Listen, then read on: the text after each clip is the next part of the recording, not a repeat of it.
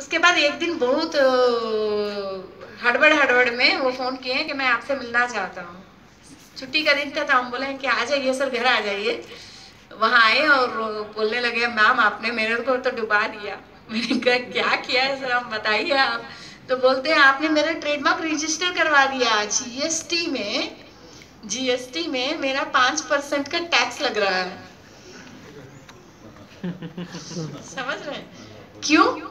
अगर आप ब्रांडेड हैं तो आपको पाँच परसेंट का जीएसटी देना है। आपने तो मेरा ट्रेडमार्क रजिस्टर करवा दिया, मेरा तो नुकसान करवा दिया, आप मैंने मेरे जैसे